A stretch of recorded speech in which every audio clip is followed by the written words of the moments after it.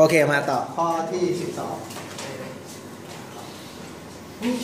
คำนวณละสักกลินแล้วครับสักกลินออกวีดีโอได้อย่าช้านี่เสร็จสักกลินอยู่นะเนี่ยเอาเลยสิบสองแก๊สหุงต้มครับมีบิวโพเฟนกับบิวเทนนะ ให้เศษส่วนโมลมาของโพเพนนะครับ 0.6 และมวลรวมของแก๊ส 49.6 เมื่อเผาไหม้ แก๊สหุงต้มในถังนี้อย่างสมบูรณ์ จะได้แก๊สคาร์บอนไดออกไซด์กี่กิโลกรัมโอ้โหหลายสี่สี่เอ็กเท่ากับสี่อย่างอย่างแรกเราหามวลอะตอมใช่ไหมเพราะมันต้องหาได้แน่ได้ใหม่ได้ดังๆใช้ไม้มือหลักหาด้วยข้างเอามือถือไปเออหนักหนักจังอะลองลองลองโอเคค่ะ ทำอะไรก่อนครับหนึ่ง ready หาเงินตอนหามวลอะตอมมวลโมเลกุลเอาวนโมเลกุลจะได้คือง่ายสุดใช่ไหมอะ C สาม H แปดกับ C สี่ H สิบนะทำไมอะโมลโมเลกุลก็คือหนึ่งโมลใช่ไหมหนึ่งโมลมีกี่กรัมเอออะโปรเพนก่อนหนึ่งโมลมีสี่สี่สี่สิบสี่กรัมบิวเทนหนึ่งโมลห้าสิบแปดโอเคห้าสิบแปดกรัม รู้แค่นี้แล้วรู้อะไรอีกไม่รู้เลยรู้รู้อีกอันหนึ่งเศษส่วนโมลเห็นไหมโจทย์ให้เศษส่วนโมลมาแล้ว แสดงว่าเราน่าจะหาอะไรได้เศษส่วนโมลของอะไรครับที่ให้มาของโปรเพนของโปรเพนเท่ากับ 0.6 นะ0.6ไอความหมายของเศษส่วนโมลที่เราเข้าใจใช่ไหมก็แสดงว่าเรามีโปรเพนเท่าไหร่เรามีโปรเพน0.6โมลใช่ไหม แล้ว เท่าไหร่ดอกอ่าเขียนซิก่อนจะช้าตามนิยามของเรามีโปรเพนอยู่ 0.6 โมลนะ ในสารละลายเท่าไหร่สารละลายแต่ส่วนโมลนี่หาในกี่โมลสารละลายหนึ่งโมลนะ เพราะฉะนั้นถ้าเอามาลบกันที่เหลือก็จะต้องเป็นโมลของบิวเทนถูกไหมก็จะมีบิวเทนเหลืออยู่ 0.4 โอเคไหมเพราะเราได้เงื่อนไขแล้วว่า ถ้าเราเอาโมลของโอเพนมาบวกกับโมลของบิวเทนนะครับ เท่ากับโมลรวมคือเท่ากับหนึ่งนะ แล้วไงอีก แล้วเราก็รู้มวลรวมถูกไหมก็แสดงว่าถ้าเราเอามวลของโอเพน กับมวลของบิวเทน มาบวกกันครับได้เท่าไหร่ ได้กี่กิโลอะ449.6 กิโลมูลรวมไงใช่ไหมหรือ4ศูนย์เติมศูนย์อีกสามตัวปะเอออะไรนะสองโอ้ตัโหวเท่านี้ใช่ไหมกรัมใช่ไหมอาเคทำไงดี เหมือนกับเรามีสองสมการเนี่ยใช่ไหมตัวนี้มี 0.4 โมลและ0.6 ตัวนี้ 0.4 โมลรวมกันเป็น 1 โมล ก็ทำไงดีกำหนดก่อนนะกำหนดให้สี่สี่มี C 3 H 8 อยู่เท่าไหร่เอ็กมี x ไหมนะมี x x กรัมนะใช่ไหม มันอีกตัวต้องมีอยู่เท่าไหร่วายอย่าง y คือคิดแช่แอนลบสี่เก้าหกศูนย์ศูนย์ลบลบไปลบ x กรัมใช่ไหมแล้วเราเปลี่ยนกรัมตรงนี้ให้เป็นอะไรได้ เป็นเป็นโมลได้ แล้วเดี๋ยวใช้ความสัมพันธ์ข้างบนช่วยต่อโอเคไหมคุณนัทครับอะสิบกรัมเป็นโมลตัวนี้หนึ่งโมลมี หนึ่งโมลมีสี่สิบสี่กรัม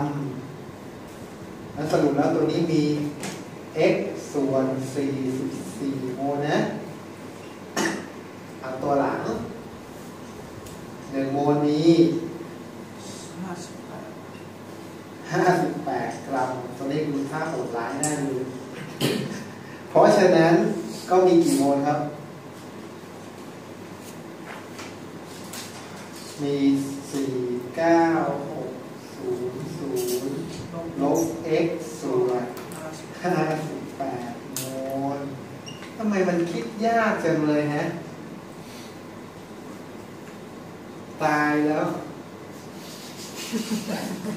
ดูมันคิดยากเนอะอะต่อนะครับ คราวนี้เรารู้เศษส่วนโมลของตัวนี้ถูกไหมหรือเอาของตัวไหนก็ได้ ถ้าครูหาตัวนี้เศษส่วนโมลของตัวนี้เท่ากับ 0.6 มันจะหาจากอะไรครับเศษส่วนโมลเวลาเราหาสูตรมันจะหาจากโมลที่เราสนใจ ก็คือโมลของ C3H8 ครับ หารด้วยโมลรวมเพราะ0.6 มันก็จะมีค่าเท่ากับโมลของตัวที่สนใจก็คือ x ส่วน 44 หารด้วย โมลรวม โมลรวมก็เป็นเท่าไหร่ ก็ x ส่วน 44 บวกกับ 49600 ลบ x ส่วน 58 ครับ ถ้าเราแก้สมการหาค่า x เราก็ได้นะเพราะว่ามีโปรเกณฑ์สีครับทำไมดูเหมันยากจังหมอครับ ไม่สามารถเกิดอะไรได้เลยใช่ไหม มันน่าจะมีวิธีคิดที่ง่ายกว่านี้นะหรือว่าอ่านเอออืม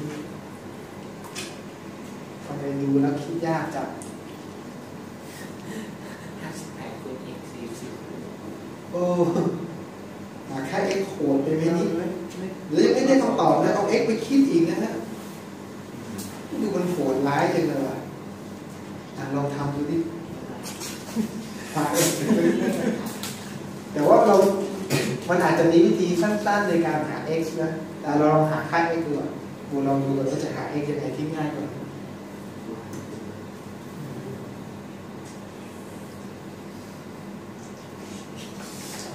ยังไงล่ะ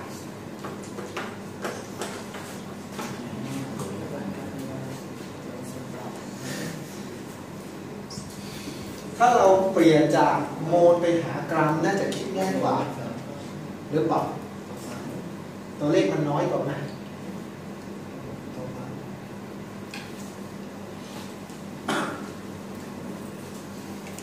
โอเค ถ้าถ้าเราเอาใหม่นะ ถ้าเราเปลี่ยนจากโมลไปหากรัมนะครับ แต่มันเป็นอัตราส่วนนะ เรามี C 3 H 8อยู่ 0.6 โมลใช่ไหมถ้าครูเปลี่ยนไปหากรัมอะตัวนี้ 1 โมลมีเท่าไหร่นะ1โมลมี 44 กรัมนะคิดแบบนี้น่าจะง่ายกว่า ก็ได้เป็นเท่าไหร่ครับ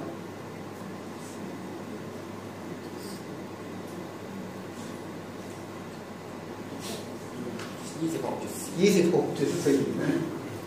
กรัมนะครับอะเพราะที่เหลือก็ต้องเป็นของบิวเทนเห็นไหมบิวเทนก็จะมีอยู่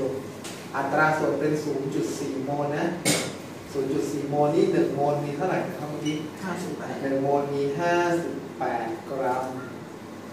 ก็ได้เป็น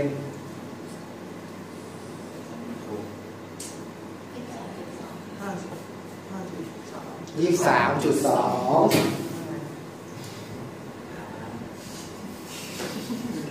ไม่แปลกใจว่าเป็นกันที่ได้สิบโอเค เพราะฉะนั้นรวมกันได้เท่าไหร่ครับ มวลรวม49จุดโอ้โหนี่ไงตัวเลขใกล้แล้วตัวเลขใกล้แล้วคิดคิดแบบนี้ง่ายกว่าโอเคเจอทางง่ายแล้วมันเท่าเจเดิอมทางยากมันเก็บไว้บึ้มมันก็เท่าเดิมคราวนี้ เรารู้แล้วว่าอะไรครับ รู้แล้วว่า รู้แล้วว่าถ้าอ่ามวลรวมทั้งหมด 49 จุด เอาดูที่โจทย์ให้มากับโจทย์ให้มาเป็น 49.6 กิโลกรัมนะ เป็นกรัมรวมทั้งหมดถูกไหมเพราะฉะนั้นเราเอามวลรวมทั้งหมดไปหารก็คือได้เท่าไหร่หารด้วย 49.6 กรัมรวมใช่ไหม ต้องการสองตัวนี้เอาเอาตัวตัวบนก่อนเราก็คูณเท่าไหร่ข้างบนยี่สิบหกจุดสี่26.4 กรัมของ C3H8 ครับตัดได้เหลือกิโลตัวนี้ตัดหมดเพราะคำตอบนี้ก็ได้เป็นเท่าไหร่26 ใช่ไหมจุด4ถูกบอกแต่ติดกิโลติดไว้อยู่ก็ 26.4 อะไรกิโลกรัมของ C3H8 ครับ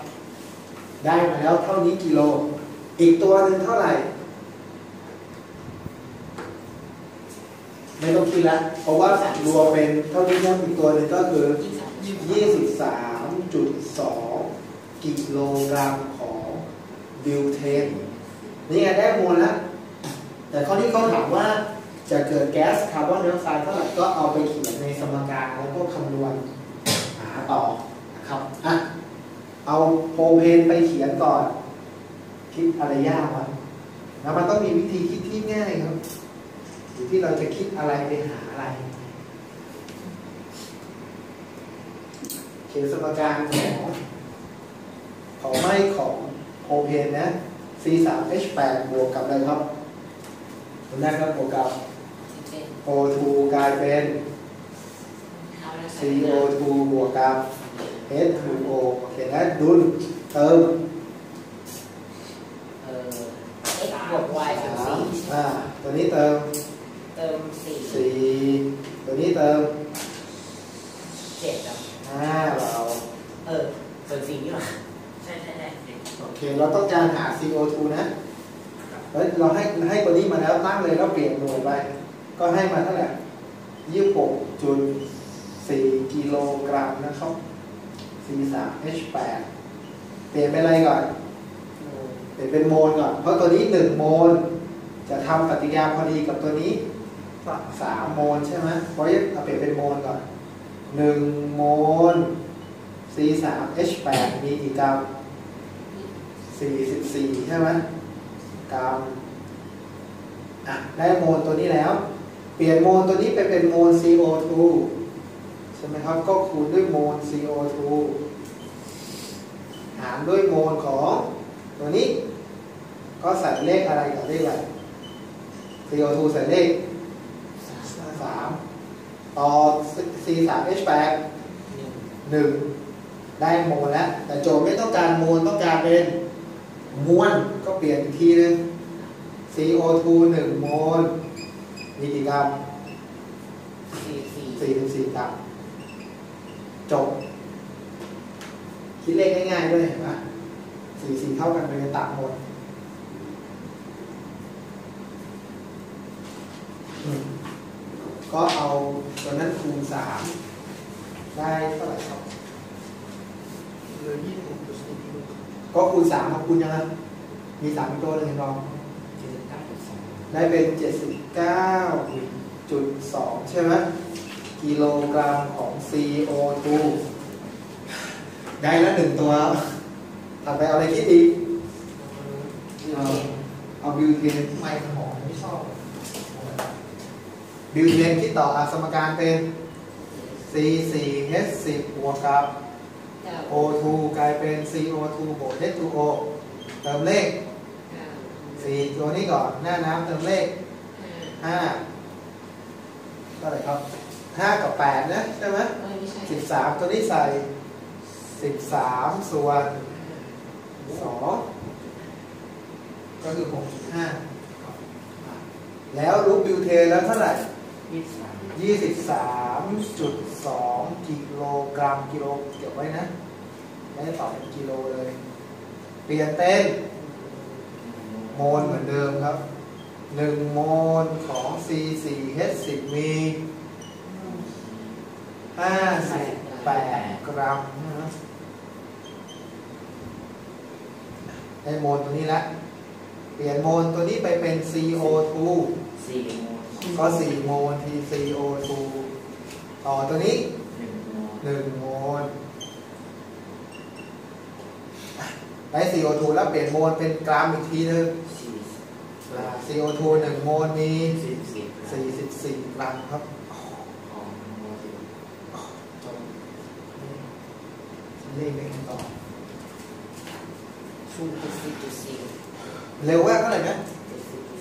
เจ็ดสิบจุดสี่70 6.4กิโลกรัมของ CO2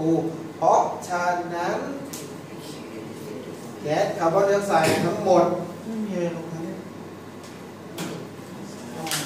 ลงด้วยหกเลยไม่มีเหรอ มีตอบข้อสองนะครับปวดร้ายบ้าไม่ต้องมีก็ บอกแล้วปริมาณสำคัญเป็นอะไรที่ไม่ค่อยน่าทำเลยนะใช่ค่ะมันจะออกทำไมไม่ยากวะจริงๆมันถามแค่อามีตัวนี้กี่มวลก็พอนะนะมีหรือว่ามีตัวนี้กี่กิโลมีตัวนี้กี่กิโลก็พอนะถามไม่ไม่มีใครจะคิดอ่าศึกษาศึกษาตาย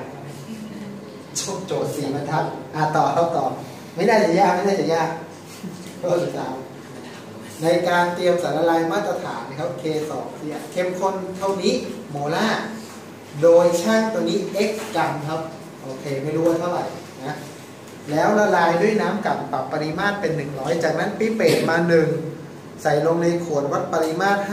500 เติมจนถึงขีดปรับปริมาตรเขย่าผสมกันถามว่า x เป็นเท่าไหร่ โอเค ได้ไหม ได้ใช่ไหมได้เนาะ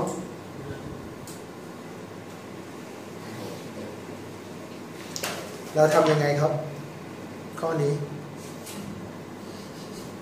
ทำไงก่อนครับครับไม่ต้องเขียนครับไม่ได้ทำปฏิกิริยาเขียนทำไมครับ ไม่ต้องดูดูดูบรรทัดสุดท้าย มันเอามาเท่าไหร่ มันเอามาหนึ่งร้อยใช่ไหมแล้วทำให้เป็นเท่าไหร่ อันนี้หนึ่งอืมเอามาหนึ่งขอโทษขอโทษเอามาหนึ่งลูกบาศก์เซนแล้วก็ทำให้เป็นเท่าไหร่หนึ่งรอบหนึ่งครับศูนย์จุดทำให้เป็นเท่าไหร่ ปรับปริมาณเป็นหนึ่งร้อยแรกก็นั่นไงช่าง x ปรับเป็น 100 แล้วก็เอาจาก 100มาเท่าไหร่ เอาจาก 100มา1แล้วก็ปรับเป็นเท่าไหร่อีกทีนึง500เพราะทำบรรทัดล่างก่อน เอา 1 มาทำ500 ก็คือเอามันมาเจือจาง ก็คือปีเปรตจำได้ไหมถ้าปีเปรตก็ต้องใช้สูตร อะไรครับก่อนกับหลังไง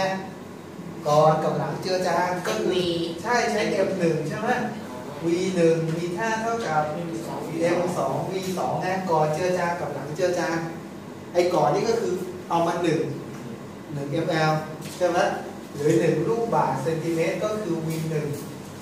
นะครับแล้วมาปรับปริมาตรเป็น 500 500 ก็คือ V2 แล้วความเข้มข้น M2 คือเท่าไหร่ ก็คือที่เราจะเตรียมนั่นเองที่โจทย์ให้มาบรรทัดแรกเห็นไหมก็คือให้มาเท่าไหร่อ่า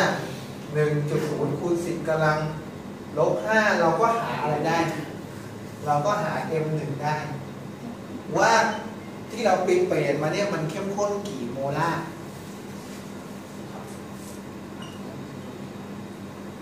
มันนี่ไม่ยากครับ คิดปุ๊บแล้วก็วนกลับทีเดียวได้ได้เป็นห้าคูณสิบกำลังลบสามโมลต่อลูกบาศก์เดซิเมตรนะอะต่อนะครับ คราวนี้เราก็เปลี่ยนตัวนี้ไปหากรัมนั่นเองไงว่าเราชั่งกี่กรัม เท่านี้โมลาเนี่ยกี่กรัมก็หามวลของ K2 Cr2 O7 ได้แล้วเห็นไหมสามบรรทัดง่ายๆครับ ความเข้มข้นคำนวณได้แล้วตั้งก่อน ตัดอะไรทิ้งเอ่ย ตัดอะไรทิ้งดีเอ็มตัดดีเอ็มกำลังสามทิ้ง เห็นไหมว่าต้องคูณเท่าไหร่ ตรงที่เราเอามาปรับไงใช่ไหมเราช่างมา x ละลายในน้ำกลั่นแล้วปรับเป็น 100 ลูกบาศก์เซนไงเพราะฉะนั้นถ้า 100 ลูกบาศก์เซนแต่เป็นลูกบาศก์เดซิต้องทำไงหารด้วยหารด้วยหนึ่งร้อหายรพันให้ตัวนี้ใส่ศูนย์หนึ่งหนึ่งศูนย์จุดหนึ่งนี่ไง ก็แสดงว่าเราช่างมาเท่านี้โมล แล้วก็เปลี่ยนโมลเป็นอะไรอีกทีนึง เป็นกรัมก็ได้คำตอบของข้อนี้นะคิดย้อนกลับส่วนใหญ่โจทย์ปริมาณสัมพันธ์คำจากข้างล่างขึ้นข้างบน เพราะตัวนี้หนึ่งโมลมีกี่กรัมครับมาดูมันจะให้มาอยู่หน้าแรกก็พวกโมนาตอมมันใช่ไหมสังเกตดูโมนาตอมเลขอะตอมนี่จะให้มาต้องอยู่หน้าแรก K2 Cr2 O7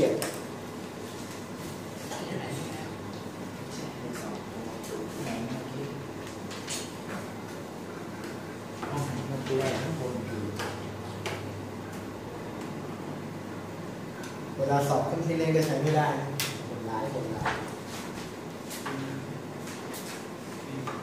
แต่อย่างน้อยทำได้สักข้อสองข้อก็คุ้มนะ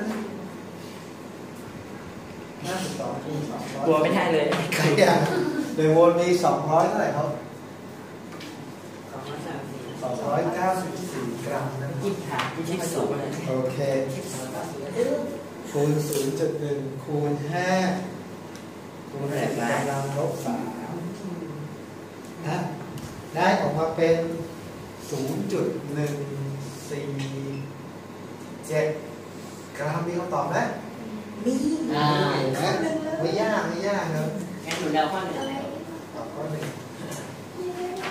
เดี๋ยวบางข้อก็ง่ายนะเดี๋ยวไปโอ้ยไม่ทำเลยเสียดายทำได้สักข้อสักข้อก็คุ้มเลย โจทย์ร้อยสิบสี่คุณโจทย์ก็แค่คุ้มนะก็คุ้มนะไอ้พวกนะคะไอ้พวกโจทย์ยาวมันจะง่ายใช่ใช่โจทย์เราก็ง่ายครับที่เกิดร้านแข่งร้อยแข่งเลยเดี๋ยวนี้คนจะทำได้ไม่ได้ครับอะเราดูที่ง่ายไหมคุณไม่รู้เกิดอะไรอ่าอ่านที่ได้เลยสารประกอบ x มันถามหาสูตรอีกแล้วน้ำสารประกอบ x เท่านี้โมลครับละลายในตัวทำละลาย a ปริมาตรเท่านี้ ได้สารละลายที่มีจุดแยกแข็งเท่านี้ครับ แสดงว่าไอ้นี่คือสมบัติ สมบัติ colligative ไง ใช่ไหมแล้วเมื่อนำ y เท่านี้ละลายใน a เหมือนเดิมครับ 20 ครับ ได้สารละลายเท่านี้ครับ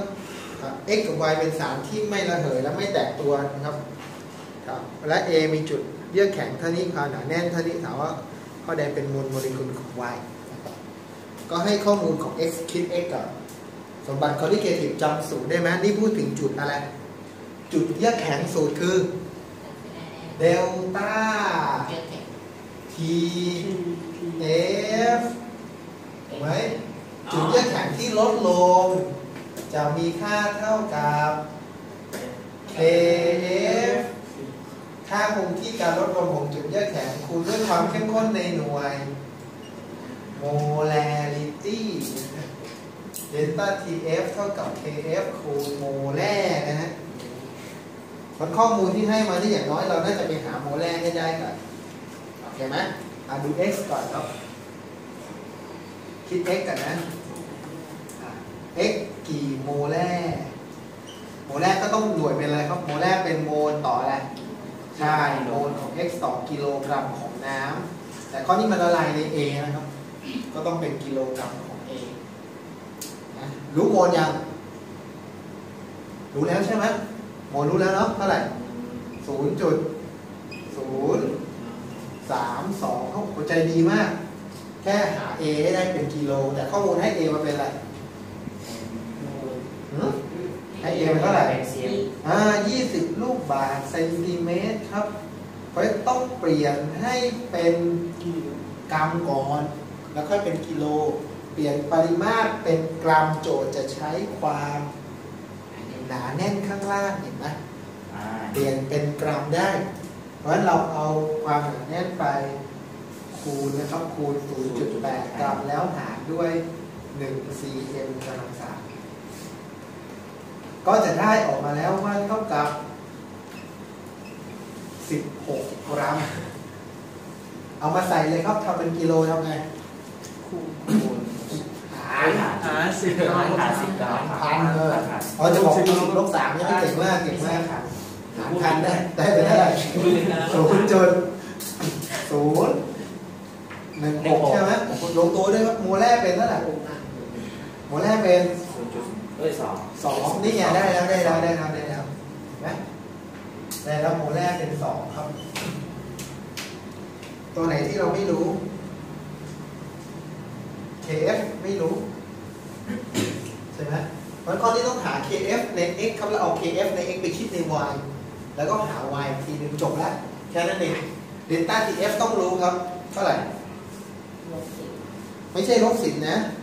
ลบสิบนั่นเป็นจุดเยือกแข็งของสารละลาย แต่เดลต้าคือผลต่างนะต้องเอามันลบกันมันลบบอกต้องเอาลบสิบกับอะไรลบกับสองจุดหกกับหก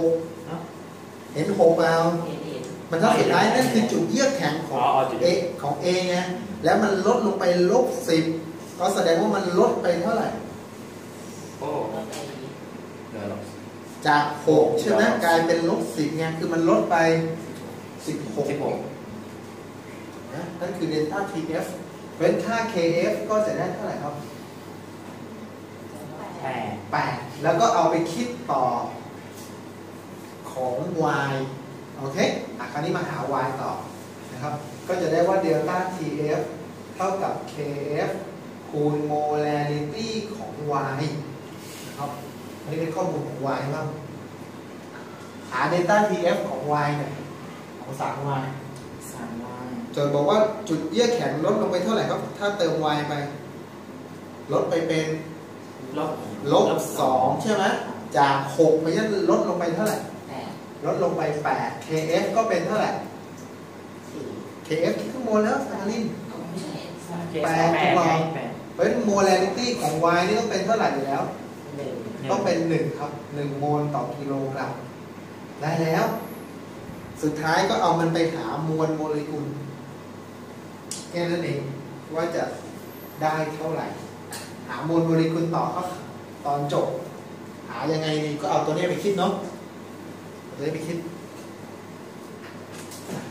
นะหนึ่งโมล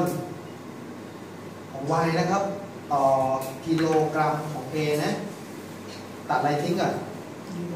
ตัดกิโลกรัมของ A ทิ้งก่อนทีนี้เราละลาย A เท่าไหร่ เราเอา Y ไปละลายใน A เท่าไหร่ยี่สิบเหมือนกันเพราะฉะนั้นเป็นกิโลเท่ากันก็คือตัวนี้ ถูกไหมเพราะเปลี่ยนเป็นกรัมได้เท่านี้เป็นกิโลก็เท่านี้เพราะฉะนั้นครูก็คูณด้วย 0.016 กิโลกรัมของ A นี่เหลือโมลแล้วเปลี่ยนโมลเป็นอะไรอีกทีนึงได้คำตอบเปลี่ยนโมลเป็นกรัมแต่ไม่รู้อะไรก็ติดไว้ไงใช่ไหม y หนึ่งโมลก็บอกว่ามีกี่กรัมดี มี y กรัม ตัดทิ้งครับคำตอบเหลือเท่าไหร่ เหลือกรัมแล้วมันเท่ากับกี่กรัมของ y ที่เราใส่ไปใช่ไหมซึ่งเท่ากับ y กี่กรัมที่ใส่ไปเท่ากับกี่กรัมของ y สองจุดแปดห้าใช่ไหมเราแก้หาค่า y นั่นก็คือค่ามวลโมเลกุลแล้วว่าหนึ่งโมลมี y กี่กรัมก็ย้ายเทอมนี้มาหาเลยนะร้อยเจ็ดสิบแปดมีว่าคิดเร็วจังอะก็คือเลขอีก แต่ตัวเลขจะเห็นว่ามันไม่ยากนะครับใช่ไหมหลักการตัวเลขมักจะลงตัว ไม่ลงไม่ลงมันแต่ได้ว่าหมันนึ่งมีร้ร้ออยยเจ็ดไม่ใช่สเต็ปนี่ไงสเต็ปนี่มันลงไงมันก็ต่างกันนิดหน่อยตอนจบใช่ไหมแล้วถ้าคิดแรกๆก็ไม่ลงตัวตั้งแต่แรกนี่น่าจะคิดผิดหนึ่งร้อยเจ็ดสิบแปดใช่ไหมข้อไหนวะข้อสิบโอ้เห็นไหมมีคำตอบไม่ยากครูโอ้ยรอบที่สาม ตายเหนื่อยเฮ้ยข้อสิบห้าครับง่ายง่ายง่ายโจทย์สองบรรทัดเฮ้ยง่ายง่ายสองบรรทัดเนี่ยง่ายชัวร์ง่ายชัวร์สิบห้าครับผมร้อยละทำปฏิกิริยาไงเด็กโอเคแล้วนะแล้วข้อนี้ต้องเขียนอะไรให้ได้สมเขียนสการมการให้ได้ครับ m g ที่ทำแบบกระดาษเนี่ยสาม n สอง ทำปฏิกิริยากับน้ก็ถูกำได้เป็นแมกนีเซียมออกไซด์คืออะไรครับ MU เก่งจ้า mg สองบวกกับ o สองลบเป็น mgo ถูกไหมแล้วได้อะไรตัวหนึงได้ฮาร์โมเนียได้คือสามฮาร์โมเนีย n สาม n สามดูสมการก่อนนะถ้าเป็นข้อสอบแพทย์มันจะไม่บอกว่าผลิตภัณฑ์เป็นอะไรครับน่านรกมากใช่ไหมโอ้โหแม่ง ดาวมาเนาะ อะเออเติมสามหน้าสามเติมเติมสองสองเติมสามเติมสามลืมหมดแล้วใช่ไหมอะโจทย์บอกว่าอะไรครับ โจทย์บอกว่าเราใช้แมกนีเซียมในตรายเท่าไหร่สี่กรัมทำปฏิกิริยากับน้ำ สองจุดเจ็ดกรัม ไอ้ที่มันยากก็คือตรงนี้ใช่ไหม เพราะว่ามันให้มาทั้งคู่ เราก็ต้องหาอะไรครับทั้งหมดเหลือใช่ไหมทั้งหมดเหลือหรือยังยางเอาที่ทำปฏิกิริยาพอดีไปหารตัวน้อยหมดไงนะก็คิดว่าหนึ่งมวลมีกี่กรัมอดตัวนี้สามโมลมีเท่าไหร่คูณสามไปใช่ไหมเอายันหาน้ำก่อนน้ำนี่สิบแปดใช่ไหมมันเอานี่สามไอ้ตัวนู้นน่ะคิดดูสิ mg สาม m จีสิบสอง mg ยี่สิบสี่เฮ้ยสิบสองเป็นโมลนะนั่นเลขอะตเราอมอะมองแล้วเราเออสิเรียนเขียนโอ้ตัวเลขสวยครับเท่าไหร่ร้อยร้อยพอดีเลยเห็นไหมอ่าละเทคนิคเราเนี่ยเห็นเราไม่เหมือนใครนะครับหาหมดเลยนะเอาใส่หารพอดีใช่ไหมส่วนให้อะไรมาตั้งเอาพอดีหารเพราะตัวแรกมีอยู่ 0.04 ตัวหลังอดโอ้อันนี้ลงตัวลงตัวเชื่อดิสามกับสิบแปดก็ห้าสิบสี่ใช่ไหมศูนย์จุดศูนย์ห้าเออเห็นไหมแสดงว่าหนูหมดศูนย์จุดศูนย์ห้าแสดงว่าอะไรหมดครับ MG ไอตัวนี้หมดใช่ไหมหมดแล้วก็ตัวนี้มาคิดต่อนะครูจะไม่เทียบครูจะใช้วิธีนี้ในการคิดง่ายดิก็เอากี่กรัมมาคิดต่อสี่กรัมเอาสี่กรัมมาคิดนะครับโอเคแล้วก็เกิดนะเปลี่ยนไปหาตัวไหนสามจุดหก M ไอสาม MG มา เออไม่ใช่โจทย์มันถามว่าอะไรอะปฏิกิริยานี้มีผลได้ร้อยละเท่าไหร่ มันให้ตัวไหนมาอีกตัวหนึ่งเห็นยัง MGO ถูกไหมให้ MGO มาเท่าไหร่สามจุดหกสามจุดหกไอ้นั่นนะเขาเรียกว่าผลได้อะไรครับ ผลได้ที่สติผลได้จริงจริงกันเราต้องคำนวณตัวนี้ออกมาเรียกว่าผลได้ทางทฤษฎีไม่ต้องเปลี่ยนตัวนี้ไปหาตัวนี้ทำให้เป็นอะไรก่อนเหมือนเดิม โมลใช่ไหม หนึ่งโมลของตัวนี้คิดแล้วมีกี่กรัมเมื่อกี้หนึ่งร้อยหนึ่งร้อยกรัม ได้โมลตัวนี้แล้วเปลี่ยนโมลตัวนี้ไปหาโมลตัวนี้อะก็กี่โมลตัวนี้หนึ่งโมลตัวนี้ แล้วกี่โมลของ MgO สี่สิบกี่โมลก่อนเอ้ยสามโมลแต่ถ้าคิดเร็วๆก็ได้นะ มันก็ประหยัดเวลาใช่ไหม แต่ถ้าช้าๆก็เป็นโมลถ้าเร็วๆใส่กรัมมันเลยคือสามคูณเท่าไหร่กรัมใช่ไหมแล้วเราทำช้าๆนะทีละสเต็ปแล้วตัวนี้หนึ่งโมลมีกี่กรัมสี่สิบสี่กรัมจบใช่ไหมได้แล้วผลได้ทางทฤษฎีเพราะคำนวณได้นั่นเรียกว่าทฤษฎี ตัวเลขสวยด้วยเราไม่สวยเท่าไหร่แต่สูงได้หนึ่งตัว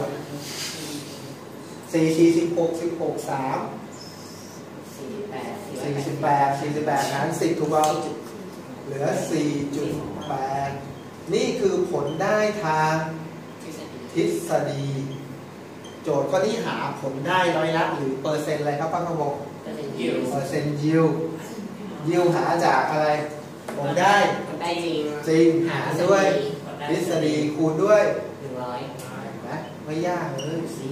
แม่สองก็ได้ สองสามสามสิบหกสิบสองสี่สี่สิบแปดตัดมายี่สิบห้ายี่สิบห้าสามเป็นห้าสิบเห็นไหมหมูทำไมพูดอะไรนี้เลยอะมันง่ายดีนะครับไม่ให้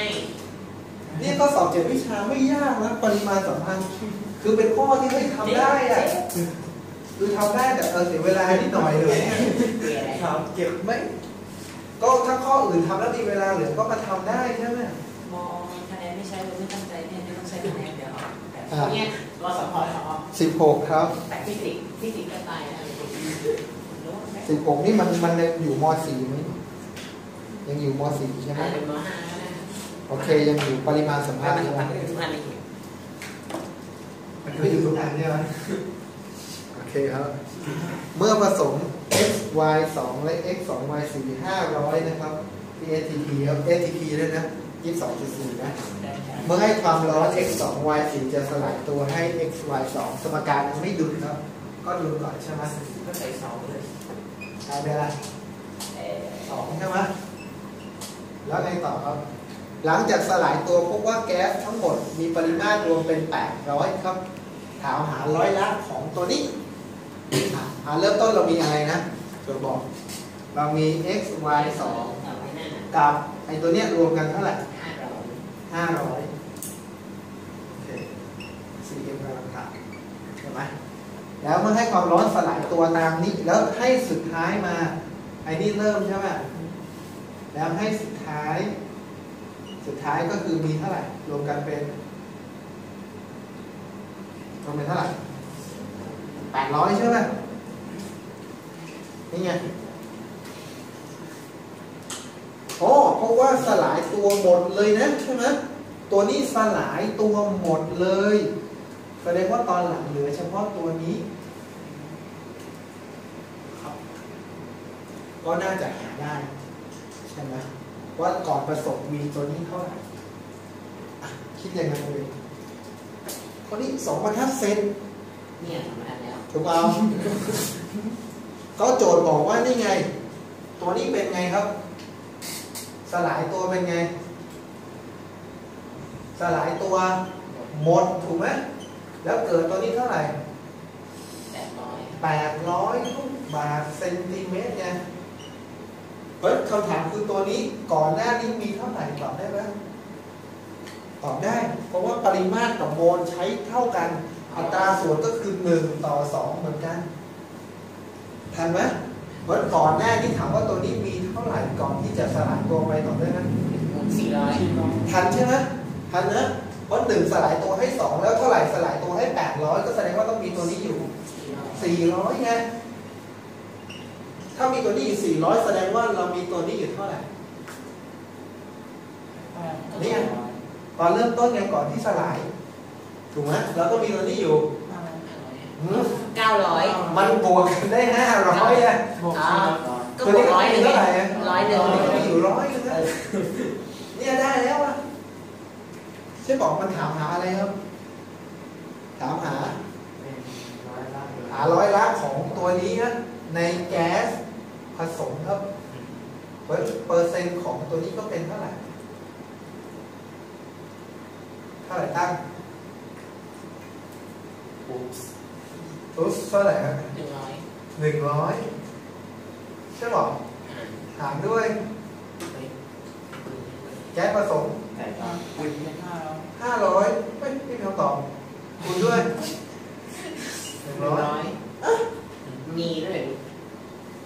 ไม่เดียวได้ยี่สิบอะยี่ห้ากันคุยได้กันนี่เดี๋ยวนะเดี๋ยวนะทำไมวะเออเออเอ๊ะผิดตรงไหนวะไม่ผิดนี่หว่า ตัวนี้บวกตัวนี้ได้ 500 ที่ STP นะครับ เมื่อนำไปให้ความร้อนสูงพบว่า x 2 y 4สลายตัวหมดให้ตัวนี้อย่างเดียว หลังจากสลายตัวพบว่าแก๊สทั้งหมดที่ได้มีปริมาตรรวม 800 ก็คือไม่มีตัวนี้แล้ว ใช่ไหมล่ะ ก็ถูกหรือเปล่า แสดงว่าตัวนี้ต้องใช้ไป400ใช่ไหมใช้ไป400แล้วก็เกิดตัวนี้800ก็ถูกอีกโจทย์ผิดยี่สิบไอ้ข้อสี่เลขสี่เลขสองอืมนี่ผิดนี่หว่าอืมเก่งได้ทำไมอะ มันคิดไม่ออกอะเอร้อยละเป็นปริมาณตัวนี้ไม่ไม่เป็นปัญหาเรามันคำนวณโดยปริมาตรได้เพราะมันที่ความดันและอุณหภูมิเดียวกันไงไม่รู้กูว่าเหมือนกันอืมหลังจากสลายตัวพบว่าแก๊สทั้งหมด มีปริมาตรก็ตัวนี้ก็ไม่เหลืออยู่แล้วถูกไหม เพราะโจทย์เห็นว่าตัวนี้สลายตัวหมดนะสลายตัวหมดหนึ่งโมลให้สองโมลถ้าตัวนี้ได้แปดร้อยก็แสดงว่าตัวนี้ต้องมีสี่ร้อยถ้าตัวนี้มีสี่ร้อยก็แสดงว่าเริ่มต้นตัวนี้ก็ต้องมีหนึ่งร้อยถูกไหมเอเออแต่ว่าหนูคนเราสามารถทำไมมันถึงอะไรนะ ถูกไหมสลายตัวหมดเนี่ยเพราะฉะนั้นตัวนี้ใช้ไป 400 แล้วเกิดตัวนี้ 800 เพราะฉะนั้นเราบอกว่าตอนเริ่มต้นเรามีตัวนี้ปนกันอยู่ 500 ก็มีตัวนี้ไปแล้ว 400 ตัวนี้ก็เหลือ 100 ก็ 100 หาร 500คูณ100 ก็ถูกแล้วนะ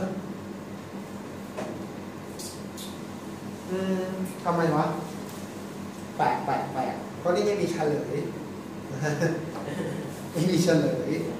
เขาอาจจะเข้าใจผิดหรือเปล่าโจทย์อาจจะถามว่าให้หาเปอร์เซ็นต์ของตัวนี้ในในตัวนี้หรือเปล่า ถ้าเป็นตัวนี้ในตัวนี้ก็คือหนึ่งร้อยในสี่ร้อยไงแล้วคูณหนึ่งร้อยใช่ มันก็จะได้ยี่ห้าเปอร์เซ็นต์แต่มันบอกว่าในแก๊สผสมก็คือในห้าร้อยดิใช่ไหมเออ ข้อนี้เฉลยข้อนี้เนาะเราเฉลยตรงๆนะ ไม่น่าจะมีอะไรที่แปลกนะแบบนี้แหละ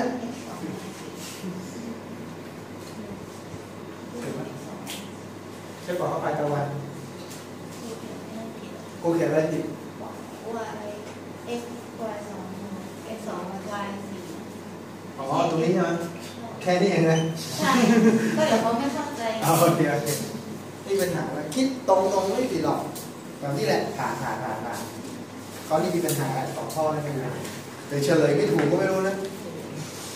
ว่าข้อมีปัญหาอะไรอะสิบเจ็ดสิบเจ็ดไปจบแล้ว ปริมาณสัมพันธ์ผ่านแล้วยี่สิบเลยต่อไปก็เป็นของแข็งของเหลวแก๊สข้อสิบเจ็ดอะสบายแล้วอยากกลับมาอ๋ออยากกินน้ำใช่ไหม เอาสิบเจ็ดข้อสักการินตอบเลยเอาข้อสิบเจ็ดก็ได้เอาข้อหนึ่งเลยนาทีเลยพอดีมันสิบหกอาจจะว่างๆอีกกลุ่มลองเดี๋ยวคิดอีกกลุ่มนึงถ้าเฉลยอีกอันแล้วก็มาคิดใหม่อีกตัวยังไม่สอบเลยยังยังอะสิบเจ็ดก็ไก่ถึงงองูนะครับข้อสรุปหรือคำอธิบายใดสอดคล้องคือให้ดูข้างหน้าแล้วไปดูข้างหลังเพราะมันสอดคล้องกันไหมไงอากอไก่ก่อน X เป็นของแข็งนำไฟฟ้าได้ดี ข้อสรุปคือโครงสร้างเป็นผลึกไอออนิกถูกหรือผิด เก่งมากครับผิด สารประกอบไอออนิกนำไฟฟ้าเปล่าไม่นานสารประกอบไอออนิกไม่ต้องอะไรนำครับน้ำก่อนใช่อันนั้นจะไม่นำนะมันจะนำไฟฟ้าเมื่อเป็นไงครับ เมื่อหลอมเหลวหรือละลาย ตอนที่เป็นผลึกนำไหมไม่นำต้องนำตอนหลอมเหลวหรือละลายไม่ไม่ใช่แน่นอน ใช่ถ้าเป็นโลหะทุกสถานะ แต่สารประกอบไอออนิกต้องหลอมเหลวหรือละลายน้ำนะครับมันกอไก่ไม่ใช่หรอกถูกหลอกแล้วขอไข่กำมะถันรอมบิกกับกำมะถันโมโนคลินิก มีจุดหลอมเหลวใกล้เคียงกัน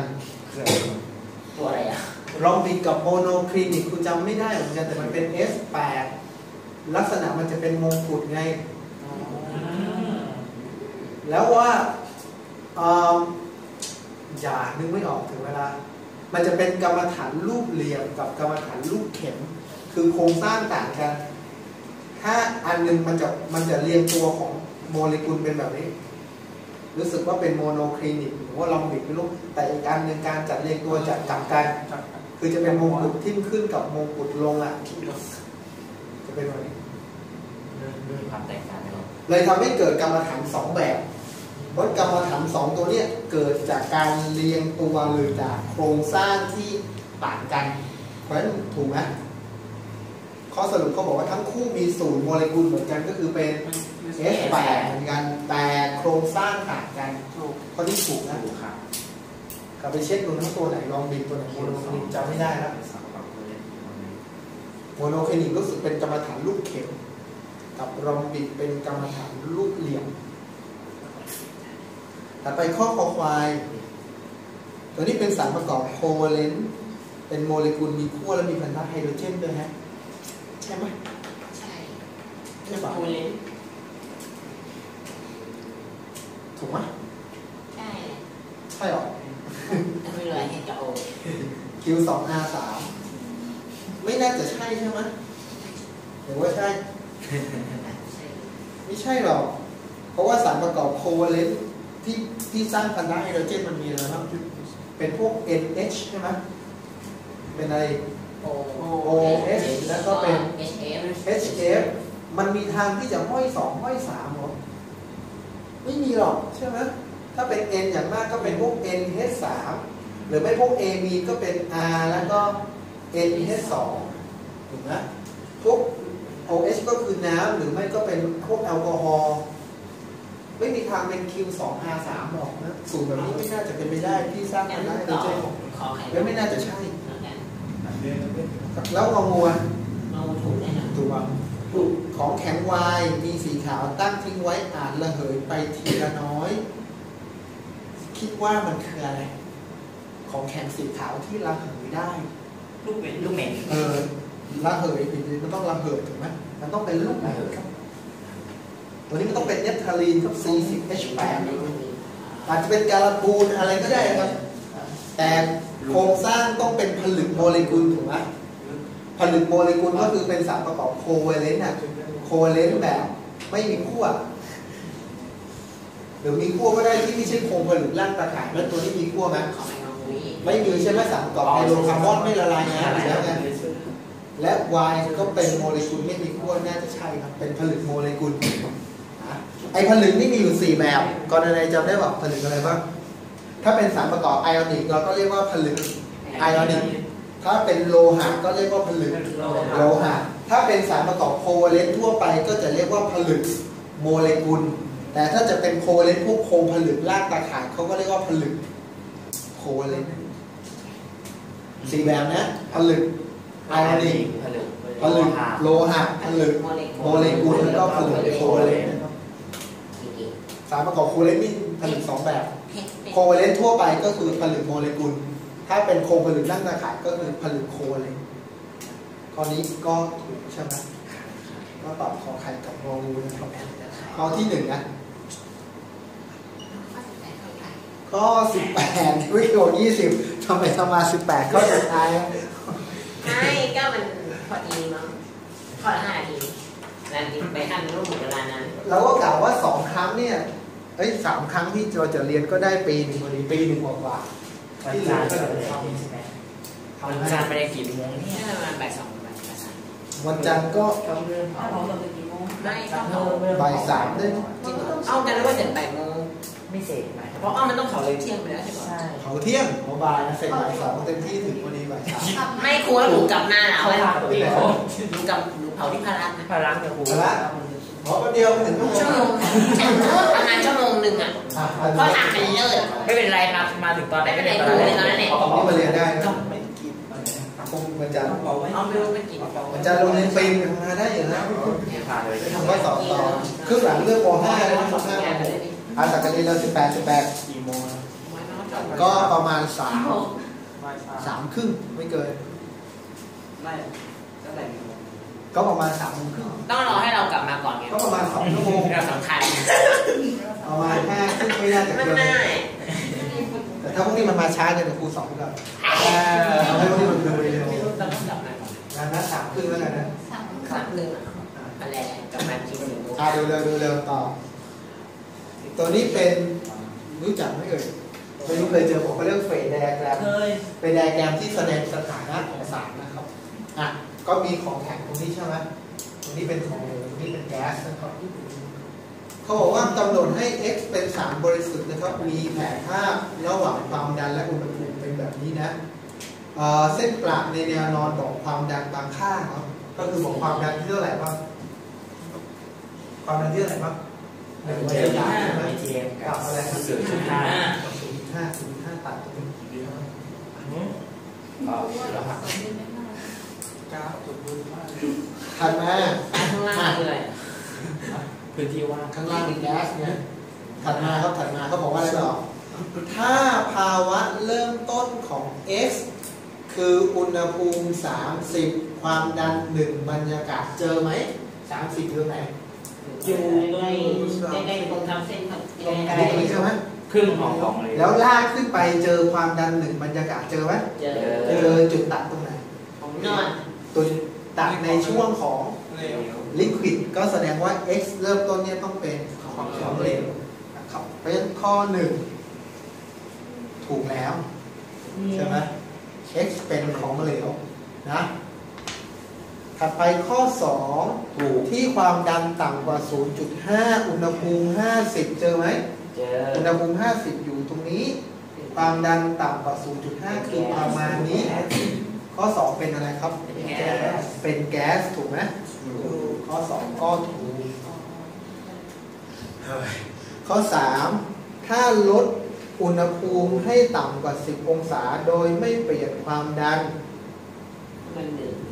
แล้วเอาความดันเท่าไหร่วะตัวอย่างเอาเอาตามตัวอย่างใช่ไหมตามตัวอย่างใช่ไหมแล้วโอความเคดัน ATM อะดูเส้นบนใช่ไหมลดอุณหภูมิไปถึงเท่าไหร่ลบสิบใช่ไหมต่ำกว่าสิบ ต่ำกว่าก็เป็นสิบของแข็งเฮ้ยต่ำกว่าสิบมันจะมีของเหลวไม่เอต้อองเรียนอยู่ด้วยอะต่ำกว่าสิบต่ำกว่าสิบถ้าถ้าประมาณเก้ายังอยู่ช่วงนี้ใช่ไหมแล้วนี่นี่ไงก็เป็นของเหลวได้ถูกไหมใช่แต่ถ้าลงไปประมาณสองประมาณสามก็จะอยู่ในช่วงของแข็งเช็คก็อื่นเพราะข้อนี้ก็น่าจะผิดถูกไหมอะไรไม่นับบอกแต่อ๋อจับเป็นนะนั่นก็ได้จะผิดแล้วอะดูข้อสี่ต่อนะถ้าแล้วความดันจากภาวะเริ่มต้นเป็นศูนย์ จุดห้าทีศูนย์จุดห้า ATM นะ ถูกและอุณหภูมิลบสิบถูกลบสิบศูนย์จุดห้าก็คือช่วงนี้เป็นอะไรฮะก็เป็นของแข็งข้อสี่ก็ถูกนะ ข้อที่ห้าถ้าลดความดันจากสภาวะเริ่มต้นเป็น 0.5ครับเส้น 0.5 นะนะฮะโดยโดยอุณหภูมิไม่เปลี่ยนก็คืออุณหภูมิเท่าไหร่ เริ่มต้นก็คือ 30 ใช่ไหมใช่ เออ0.5ก็ยังเป็นของ30เหลวอยู่ใช่เหรอรู้ดีนะถ้ามันตัดตรงที่ของเหลวอยู่เลยไม่ใช่ตัดพอดีไม่เหรอไม่พอดี0.5มันไปอยู่ตรง30แก๊สมันอยู่มันอยู่ข้างล่างนิดนึงใช่ไหมแก๊สเอาไปตัดมาเส้นนะใช่บอกมันต่ำกว่าเส้นนะลองดูดิห้ามันต่ำกว่าเส้นเส้นขีดแบ่งตรงนี้นะ มันก็เป็นอะไรของแก๊สเนี่ยแก๊สก็ต้องเป็นแก๊สนะครับอะแล้วบอกว่าสถานะเดิมสถานะเดิมสถานะเดิมมันเป็นของเหลวอะเอาแล้วเราไม่เช็ค อุ้ยเจ็บเออสองสองข้อเขาอาจจะเป็นเขาอาจจะให้การสองข้อแล้วก็ได้ครูไอยา ถ้าลดอุณหภูมิให้ต่ำกว่า10ต่ำกว่า10โดยความดันไม่เปลี่ยนเออเส้นอาจจะอาจจะเป็นไงหนูว่าข้อสามมาถูก เออกูว่าข้อสามถูกแน่เลยเพ ราะว่าข้อสามมันแค่นิดเดียวเองกูว่าเส้นนี่มันน่าจะสิบพอดีไหมน่าจะเลยไปอีกอะเออมันน่าจะสิบพอดีที่อยู่ตรงนี้เพราะฉะนั้นถ้าลดต่ำกว่านี้นึงน่าก็จะจะเป็นเข้ามาขตรองงนี้แล้วก็นะจะเป็นของแข็ง น่าจะเป็นของแข็งแล้วนะเวลาเขาไม่ลดเขาเวลาเขาลดเขาน่าจะลดเยอะรูปอาจจะเพี้ยนเล็กน้อยไอ้ยาว่าแต่ใช้ไม้มันตั้งท่าใช่ไหมแต่ว่าข้อห้านี่น่าจะผิดเต็มเต็มๆเพื่อนเขาโอ้โหแล้วเออเราถามนี่เดี๋ยวถ้าถ้ามันอยู่ตรงเส้นพอดีอะนะสมมติอยู่ตรงเส้นที่พอดี ก็เป็นของเหลวกับแก๊ส มันชนตรงนั้นพอดีมันก็เป็นจุดสมสมดุลระหว่างของเหลวกับแก๊ส ก็คือกำลังเดือดนึกออกไหมมันกำลังเดือด แล้วถ้าจุดเนี้ยจุดนี้หายาก สมดุลระหว่างของแข็งกับแก๊สหายากครับกำลังระเหิดอยู่ ถ้าจุดนี้ก็คือสมดุลระหว่างขขอองงแข็แข็งงกับกับของเหลแก๊สวก็คือมันกำลังหลอมเหลวผู้เล่นดีกว่า ใช่ไหมจุดนี้เคยเห็นไหมเคยพูดยังจุดนี้เขาเรียกว่าจุดที่ว่าต้มน้ำแข็ง อ่าใช่ได้ที่ผพอยพูดแล้วตอนที่เราเรียนพิเศษตอนนู้น เป็นสามสถานะใช่ไหมเราถ้าเป็นน้ำก็จะเห็นน้ำแข็งลอยอยู่บนน้ำที่กำลังเดือด